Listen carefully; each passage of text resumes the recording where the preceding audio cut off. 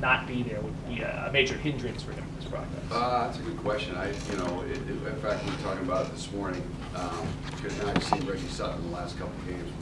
We've been able to use him, kind of steal snaps with him. He's played about twenty-seven snaps in two games as a, more or less a blocking and play action tight end. But we lost a lot when Jerome, you know, was, was out, or is out. And, uh, you know, from week to week, kind of thought he was coming back, and I thought he was coming back, and next thing you know, a couple weeks go by. And, um, it hurt us in the run game, it hurt us a little bit in play action, and it- it certainly hurt the pass game. You know, because I think we finally realized, like I think we talked about it here, way back after the Kansas game, that I, that I thought that was the one guy in the field they couldn't handle. And then I kept telling Art, just find him. Like, it's not so much about, you have to understand, uh, the structure was taking you there anyway, but you should have, you know, I think you started to rely on him a little bit more um, as he got more comfortable with him, because remember, he wasn't here in the spring. And he was a little bit limited in camp, and it took him a little while to get up to speed, Jerome. So he didn't have a lot of experience with him, other than all of a sudden the season starts, and you realize, wow, this guy's a force, you know? Um, So losing him hurt, you know, we didn't really talk about it much, or, you know, we kind of, we have a, a number of other guys that are good players, but, you know, to discount the experience that he had, uh, and the confidence, and and Art was growing confidence in him, it- it did make it difficult, because, you know, who's the bell cow?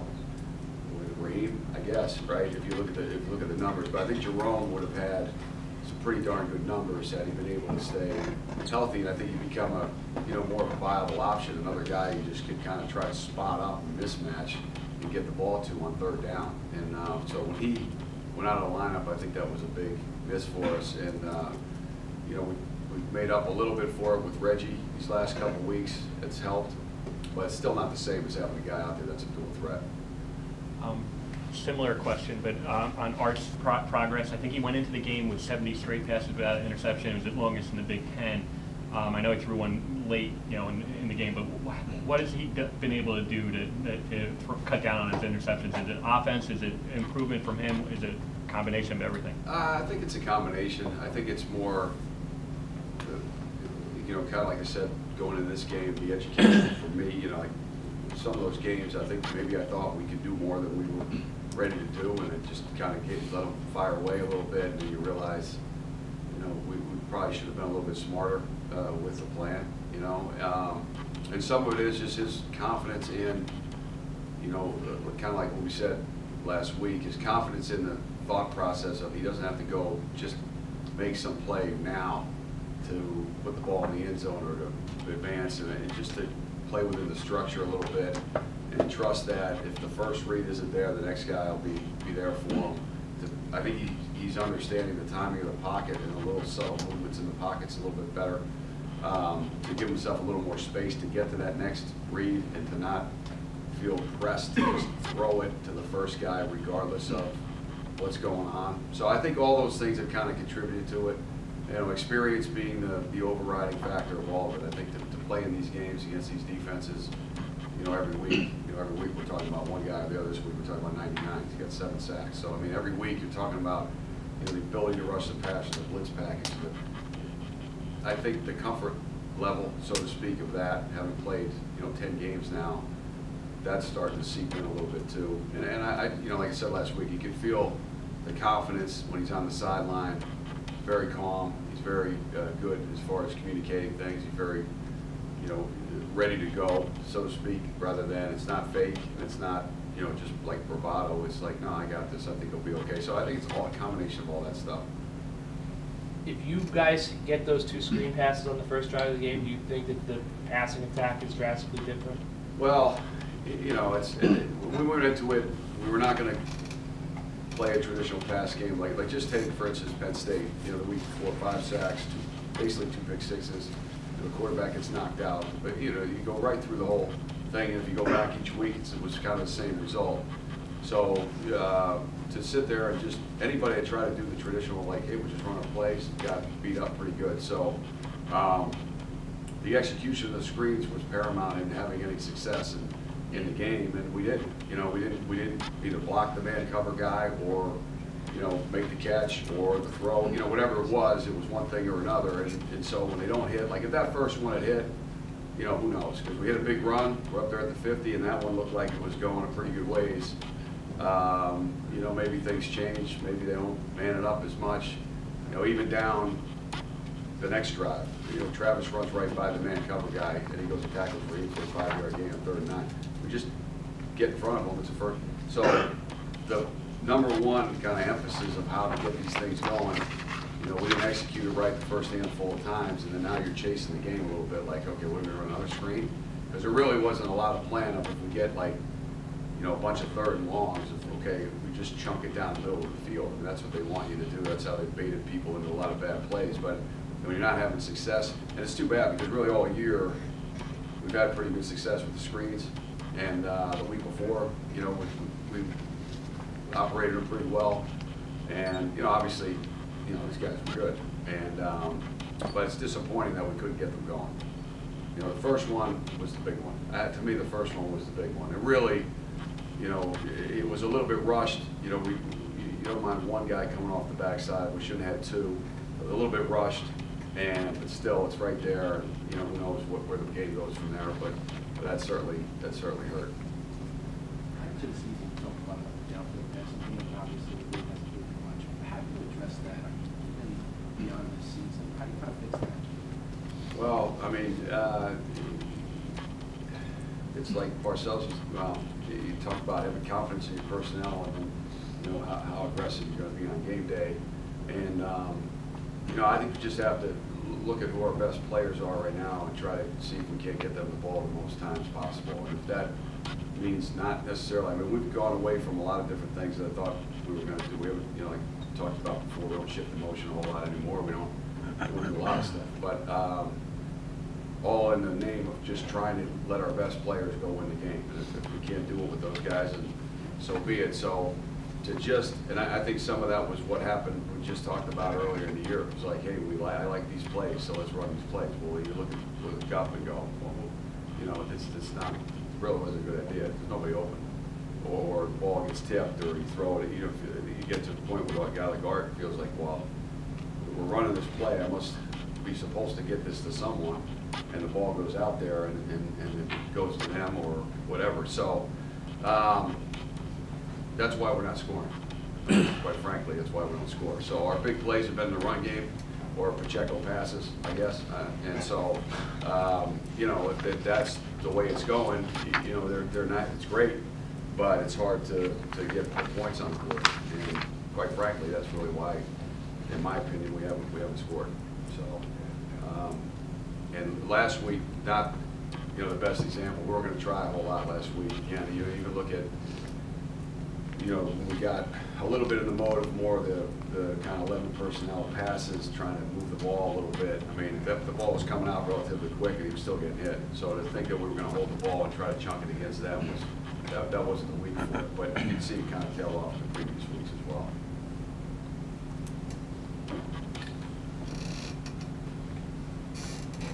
Do you use the next two games to sort of try to be more creative with Pacheco and Blackshear? You know you're going to have the two of them going forward and trying to find ways to use them. I know you did the Wildcat this week, and I guess the follow would be, is Pacheco candidate for the Wildcat? Because obviously he can throw the ball, that would add something to it.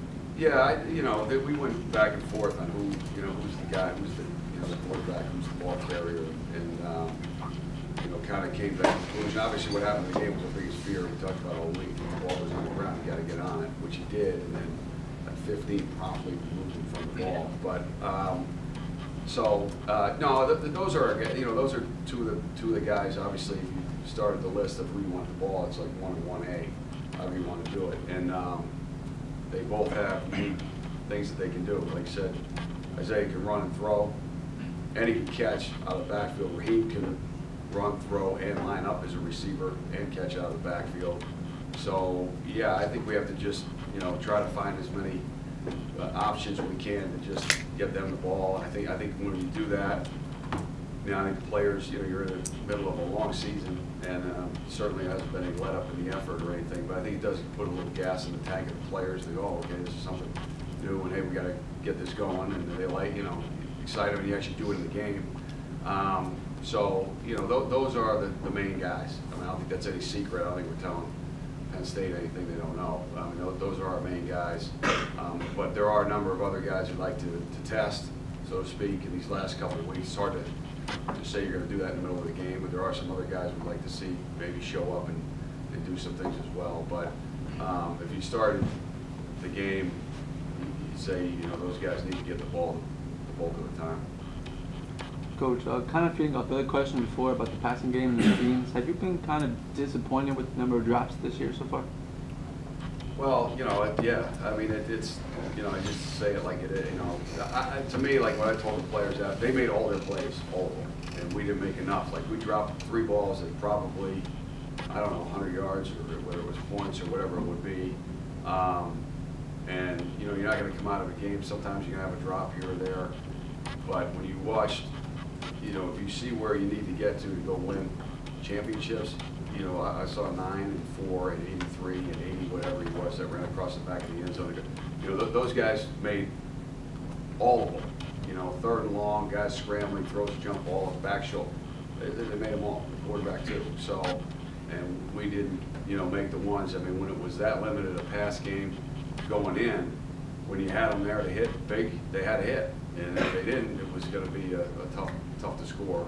Um, so that, yeah, that's, that's, yeah, that's disappointing. I mean, I, haven't done receivers for another number of years, uh, the number one thing is can he catch?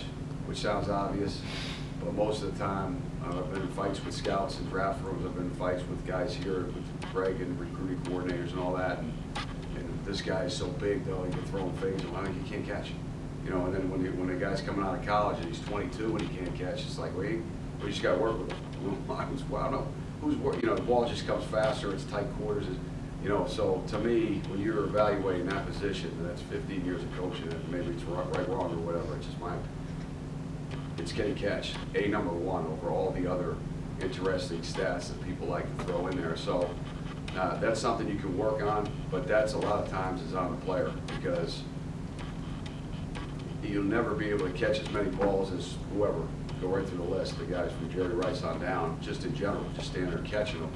And it's the only way to get good at it. So, and get your arms strong, you know, your hands strong, all the things, sand, you know, buttons, all, all those things. So, but that, that's the number one job of a, of a receiver, and obviously it's hurt us, you know, this year. Take two more. Two-part question. Um, On, on your roots with Penn State. Uh, One, you know, I know it's a long time. I'm assuming it's the first time you've played, uh, coached against Penn State or, or uh, seen Penn State on the other side since Michigan, GA. Exactly. And then the other part was, I know you played there in '88. I was wondering from the other side, that was the last time Rutgers beat Penn State. What do you remember about that game? Those two, uh, eh, you know, emotions and then I guess that game.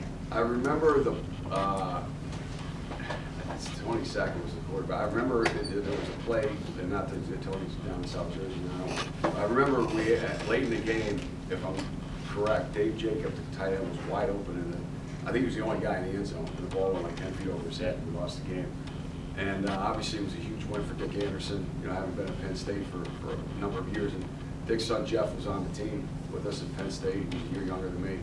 So, uh, and, you know, it was almost, it was the first time, you know, as mad as Joe was, it was different in the locker room afterwards. I think there was a little bit almost of, uh, whether it was respect, whatever it was, that it, at least it was Dick that beat us. You know what I mean? It felt weird, and that, you know, I remember him saying we got out hustle, we got out coach, we got out play, we got out every, you know, so, um, but yeah, that's what I remember about the game. But maybe that's not even accurate. I, I swear that there was, a we had a chance, and it, it just didn't hit, or Tony was under pressure, whatever happened. And, uh, and, um, and that ended up being, I think it was Joe's first losing season ever. At the time, I think he may have Yeah. had one more so. later, a couple of years later. But, um, so, uh, and no, I haven't, I have not, you know, gone against these guys since the, it was the first couple years in the Big Ten. We we played them, we went up and beat them there. I think it was the thousandth game at Beaver Stadium, and then they, they, uh, the great Penn State team in ninety-four, that beat us thirty-one twenty-four, which I remember Monty Toomer kind of short armed one at the end.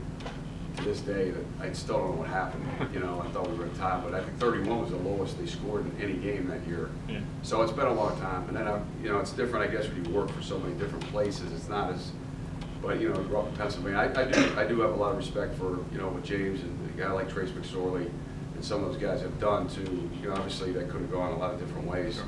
um, when they got there, and they were able to kind of right the ship, so to speak, and uh, obviously get it going in the right direction. So, you know, I'm interested to meet Trace at some point after the game, probably just to tell him as a, as a alum that a lot of people appreciate what he's done there. And, um, you know, obviously it helped a lot of other guys too. But that's a tough guy. That's done a lot for that program. Can Reggie Sutton catch? Yeah, I think he can. I'll tell you, you know, it's funny, like, I don't, you forget he's a tackle. I, I do. Like, I'm, you watch him play and think, I mean, he's two seventy-ish, you know what I mean? I don't know, maybe he is a tight end. I don't know, you know, rather than say, hey, you gotta put on fifty and go be a tackle, maybe it's drop fifteen and go be a tight, I mean, I don't know. I mean, he's a great, he's a great kid. He's tremendously smart, calm demeanor, very, you know, like, like, there's a couple things at halftime we talked about, and he's like, yeah, sure, he just lines up. Blas Vinovich, like, he's like, yeah, whatever. You know, I mean, he, he, uh, he's a pretty cool customer, and he's, he's helped us the last couple of weeks. I, I guess how did that conversation begin? You just want to get him on the field, and you knew that you needed something at tight end. I mean, how did he get chosen?